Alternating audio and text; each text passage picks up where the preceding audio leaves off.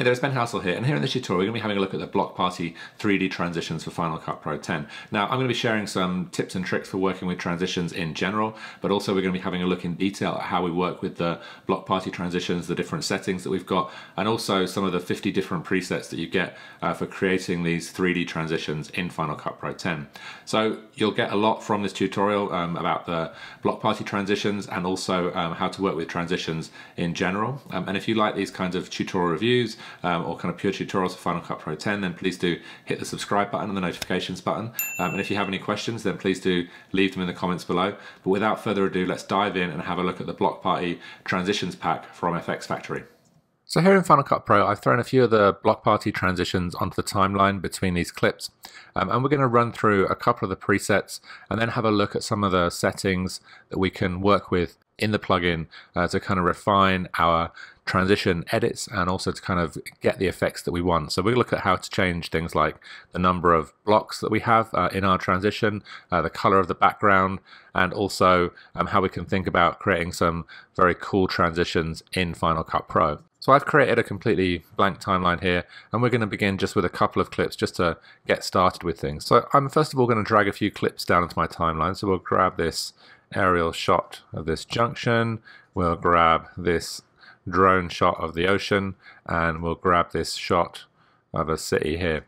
So basically, um, the first thing I always kind of do normally when I'm adding transitions is make sure that I've got enough media at the end of my clips um, to add a transition. So if we go to a basic transition like cross dissolve, it behaves in exactly the same way as something like the block party transitions where when we drag it on, if we don't have any media there, we're going to get this message uh, that will pop up asking us if we want to rip or trim or shorten our clips basically so that we can create that transition. So I'm going to click cancel there and I want to control this manually. So I'm going to shorten my clip from the end and you can see that media limit when we drag out to the end here using the selection tool. We basically reach the media limit. So we need to have a bit of overlap between our two clips before we can add a transition. So I'm just going to shorten these up.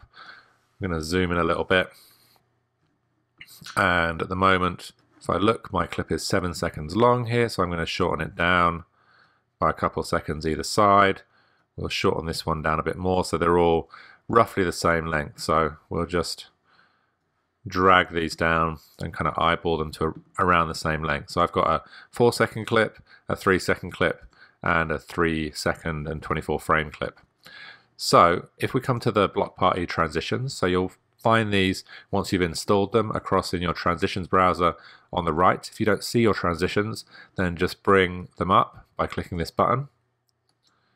And basically, once we're in there, we can come to Block Party.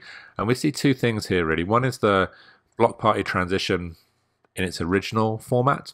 And then we see the different kind of presets for that Block Party transition. So we have 50 different uh, kind of options here um, for these different kind of block party uh, transitions. Um, and we're just going to kind of play around with a couple of them and then look at some ideas for how we can mix the block party transition um, with something like a split screen um, in Final Cut Pro 10. So I'm going to grab this Celestial transition and drag it onto my edit here.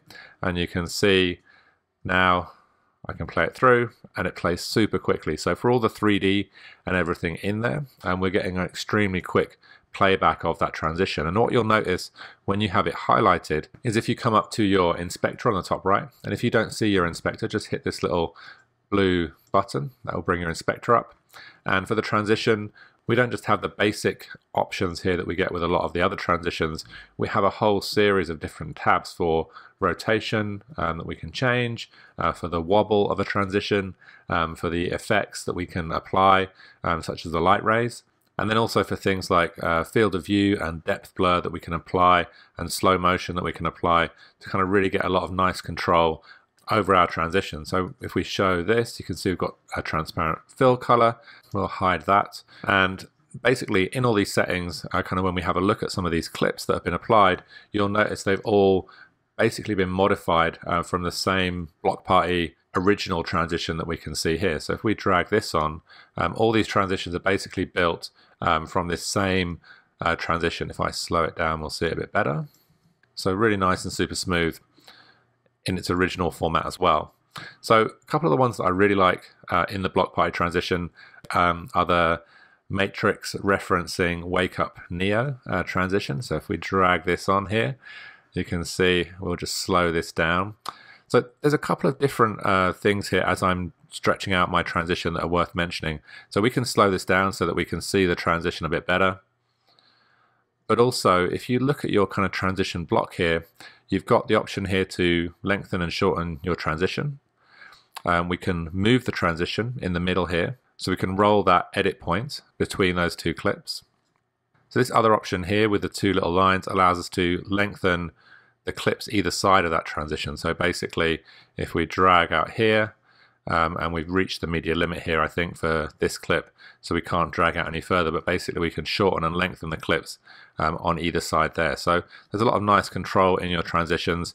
We can also, if we highlight the transition and hold down Control and tap D, um, we can type in a duration that we want for the transition. So if we want this to happen over one and a half seconds, we would type in one period one five and hit enter, and that will shorten our transition to exactly one and a half seconds um, in our timeline. So we've got a nice level of control over those transitions. We can also do that for multiple transitions as well. So if I highlight all these transitions and do control and D and type in one period, it will make each of those transitions one second long.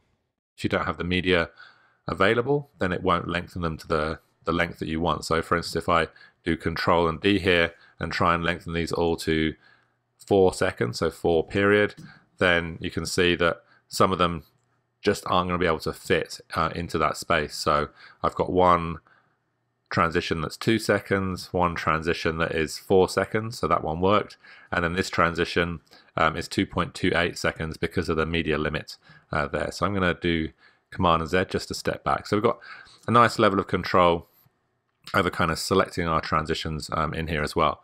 So um, if we have a look at this transition, I'm going to come to the middle so I can kind of see it halfway through. If we come up um, to our options here, you can see we've got some real nice options for changing. So I can increase the number of rows. I can decrease the number of columns or increase them. So I can have a kind of blockier uh, transition. I can change the angle. Okay, so I can add some angle in some different ways to the way that transition is falling.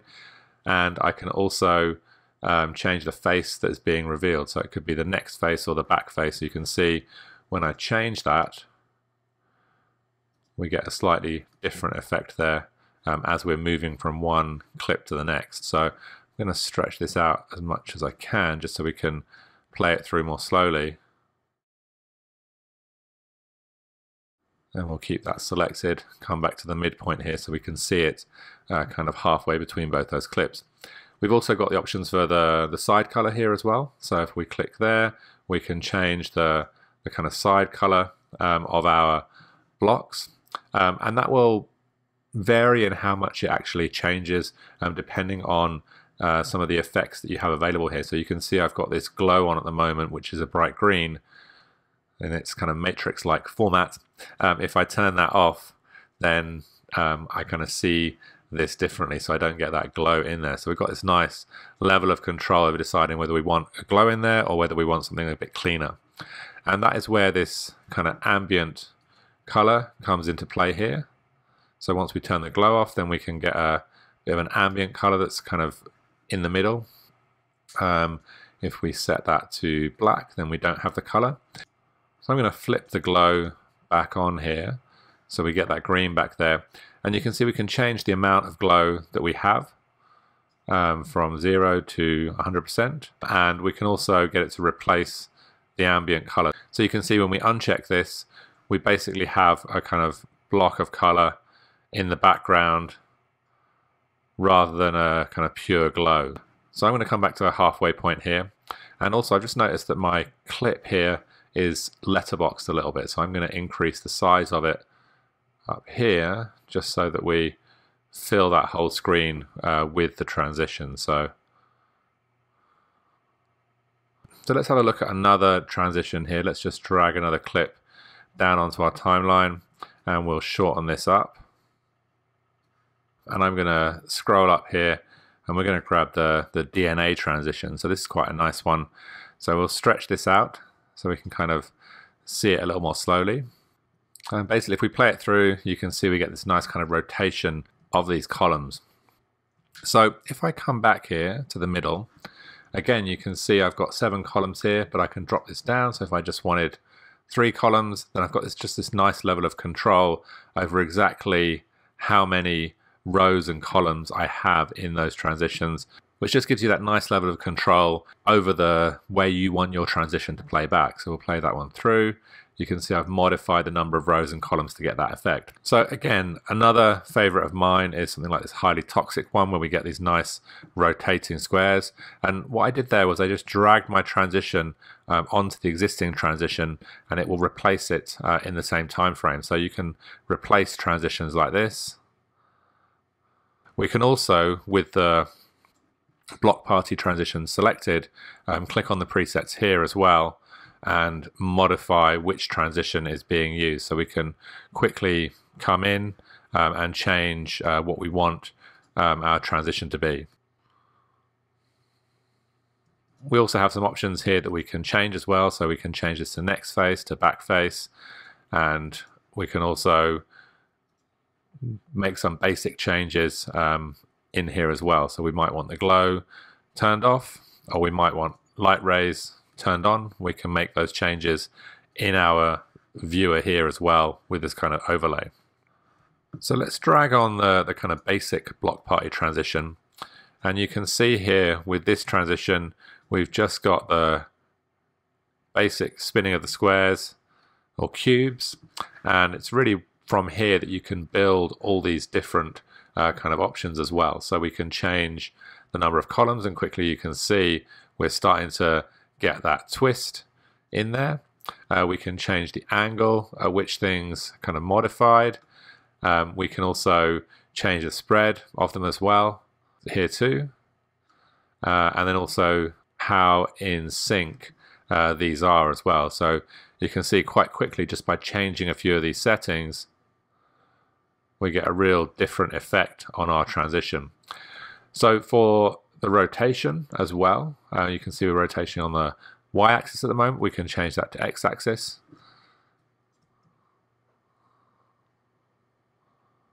which will change again the way the, the transition kind of falls. Uh, and we can change the number of rotations as well. I'm going to change this back to y-axis.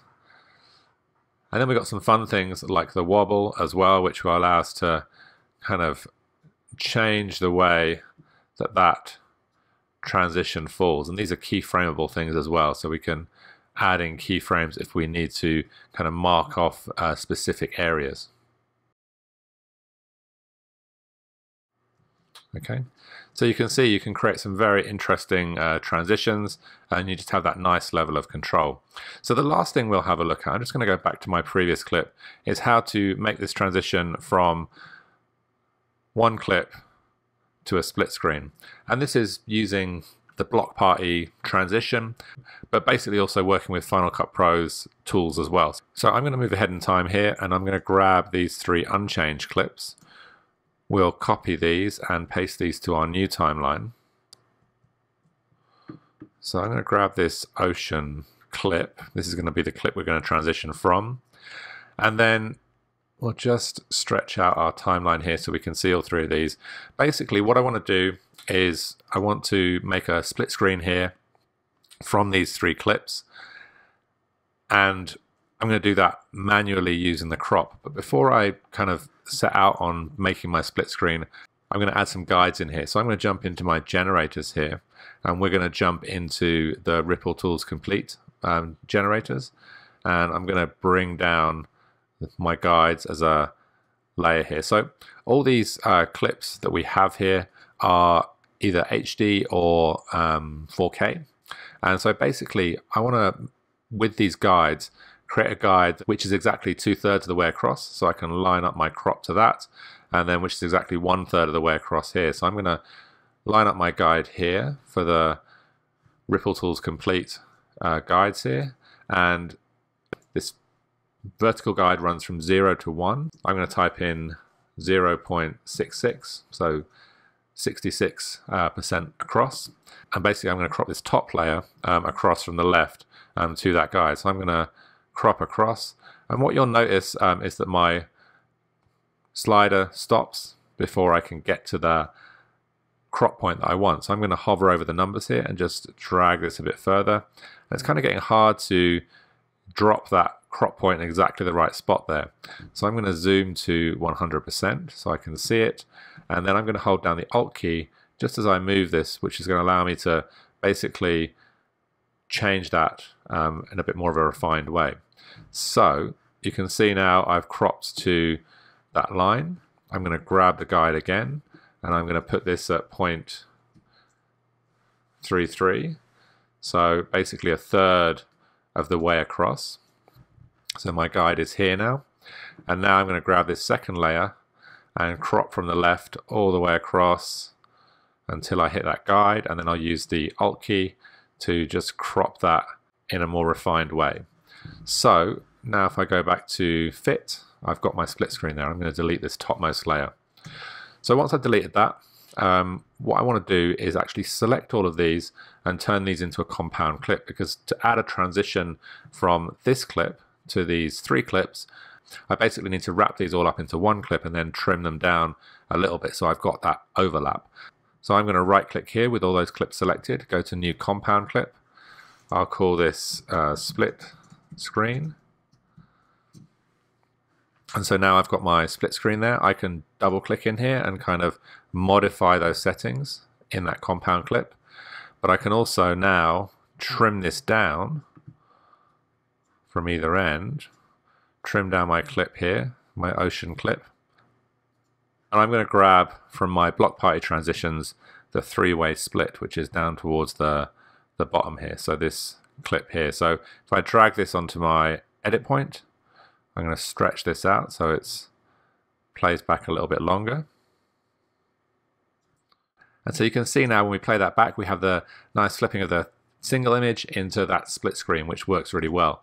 So in here as well, if we kind of come onto our transition for things like the effects here we can obviously change the the glow to light rays or we can change it to none we can also modify the amount of effect that there is so we can change that and also change the color uh, down here as well. So we've got this real nice level of control over the color and the kind of glow and light rays when we're setting up these blocks. So I hope that's a good overview of the block party transition, how to work with it. I think it's really great in terms of the amount of control you've got, say for instance, compared to something like the basic dissolve transitions. Um, there are some other divide transitions in Final Cut Pro 10, but the block party transition really offers a, a kind of incredible, not only level of control, but speed of render and kind of management of different colors and stuff like that uh, when you're working um, on specific projects in Final Cut Pro 10. So I hope that's been a useful overview of the block party transition. If you have any questions about it or like to leave some comments, then please do uh, leave them below. Um, otherwise, I look forward to seeing you on the next tutorial.